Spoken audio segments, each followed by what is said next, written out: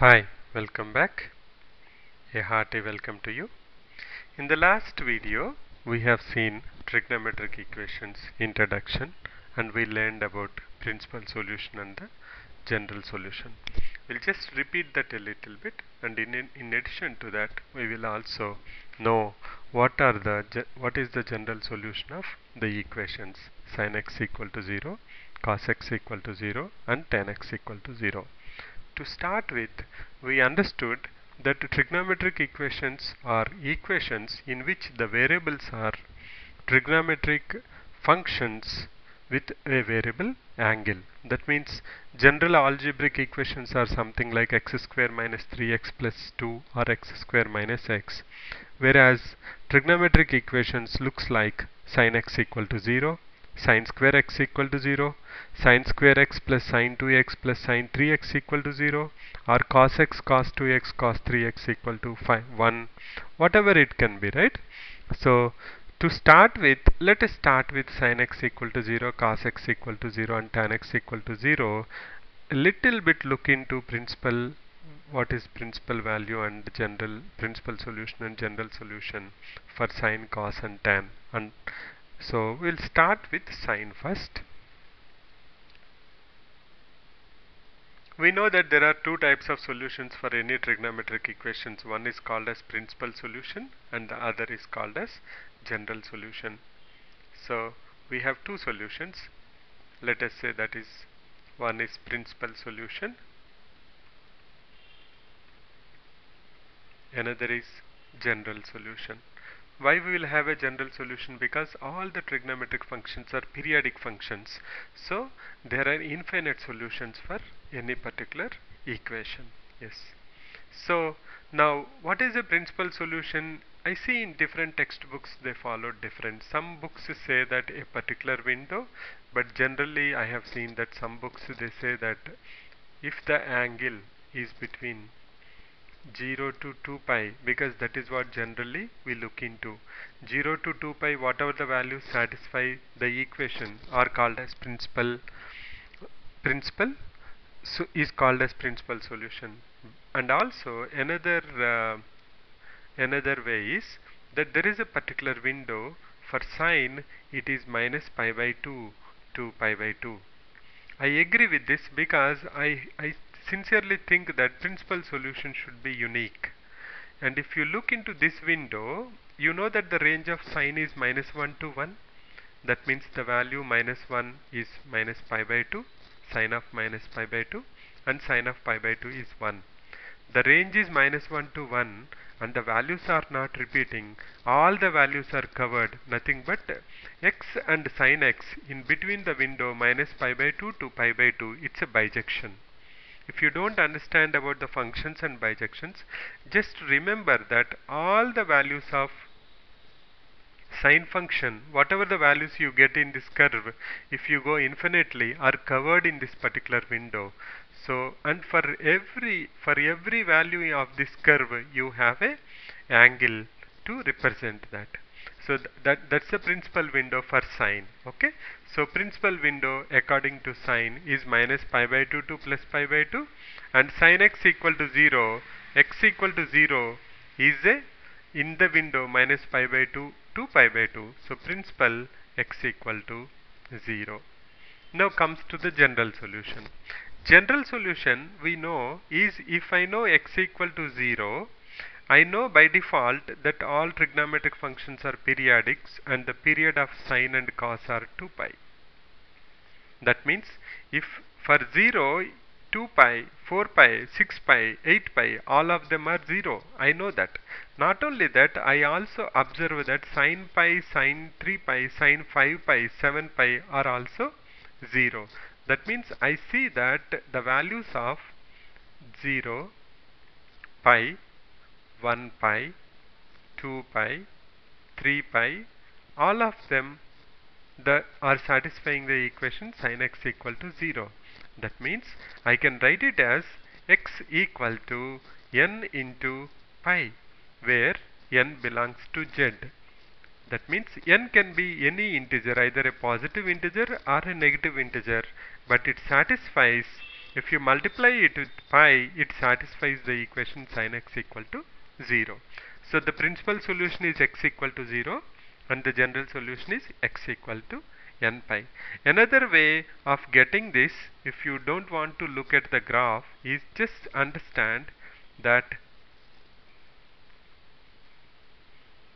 always this is the Bible quadrants four quadrants all sine tan cos you know that sine is positive in first quadrant and also second quadrant. That means if sine alpha if if actually you have sine 0 you also know that sine pi is also equal to 0 similarly sine 2 pi is 0 sine 3 pi is 0 sine 4 pi is 0 sine 5 pi is 0 so you can see that you can see that for all integer multiples of pi sine is 0 that's why it is n pi.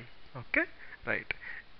So similarly let's now go to the cos and see what is the principal value. For cos x equal to 0 for cos x equal to 0 we have to find out the principal value. The principal window for cos is 0 to pi because cos 0 is 1 and cos pi is minus 1 the range of cos function is minus 1 to 1 and you can see that in particular this interval 0 to pi all the values of cos function are covered. So whatever the solution you get here that is called as principal solution of cos x equal to 0 right. A cos function any any cos function any cos equation actually. It may not be cos x equal to 0 it can be cos x equal to 1 by 2 or it can be root 3 by 2 anything. But the principal window for cos remember is always 0 to pi.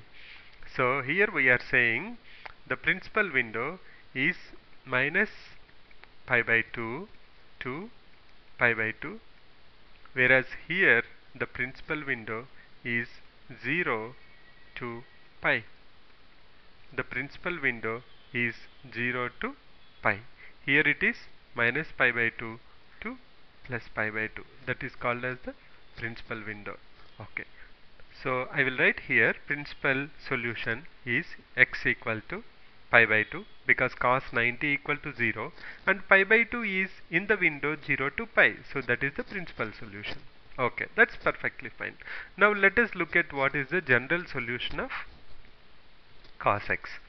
If I look at where in the cos curve where cos is becoming 0 I see that cos minus pi by 2 is 0 cos pi by 2 is 0 cos 3 pi by 2 is 0 again cos 5 pi by 2 is 0 so you can see that minus 1 minus 1 pi by 2 1 pi by 2 3 pi by 2 so you can you observe that these are all odd numbers, correct?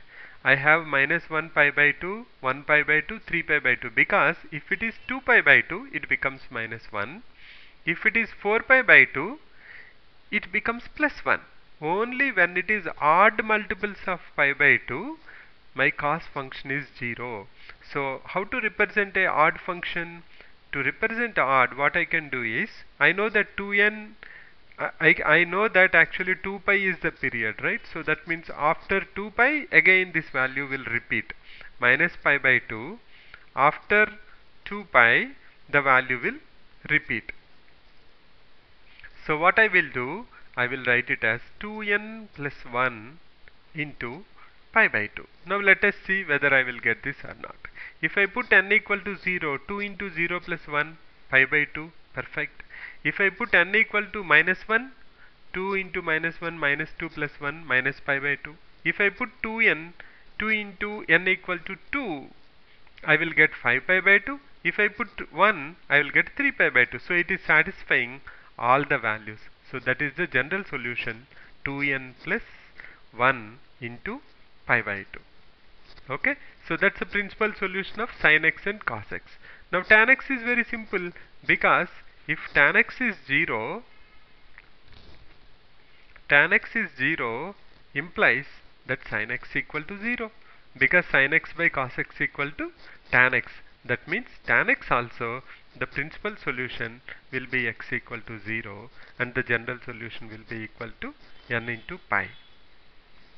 So since I just want to touch on this again since they are odd numbers you are any number you multiply with 2 will become even number. And actually if you want to see this this is nothing but equal to if you separate that that is nothing but equal to 2n pi plus pi by 2 you know that you know that the cos function period is 2 pi. That means if you add 2 pi to pi by 2 it will have the same value but I can have that type of 2 pi cn. That means I can do it how many times I want. So that's why it is 2n pi plus pi by 2 nothing but 2n plus 1 into pi by 2 now what happens whenever the value of n is given a positive or negative integer? You can see that it becomes an odd multiple of pi by 2 for which the value of cos is 0 so these these this is a little bit about general solutions of sin x equal to 0, cos x equal to 0 and tan x equal to 0. So the window for tan is also uh, for sin is minus pi by 2 to pi by 2 and cos is 0 to pi and the principal values of sin x equal to 0 is 0 and cos x equal to 0 is x equal to pi by 2 and also tan x equal to 0 is x equal to 0. The general solution for sin x equal to 0 is n pi because all multiples of pi whether it is odd or even satisfy that sin x equal to 0. In case of cos it should be only odd multiples, multiples of your solution principal solution that is pi by 2. So 2n plus 1 into pi by 2 will give me for different values of n integers where n belongs to z will give me all the values of cos which satisfy odd multiples of pi by 2 which satisfy cos x equal to 0. So in the next video we will see an equation where instead of sin x equal to 0 if sin x equal to k then how to find out the principal solution and also how to find out the general solution that we will have a look in the next video. Thanks for visiting. Bye for now.